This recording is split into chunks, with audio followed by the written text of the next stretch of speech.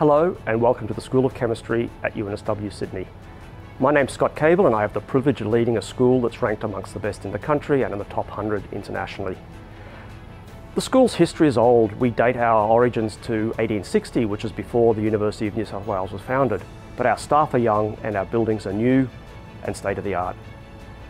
Our staff research and teach across the whole breadth of chemistry.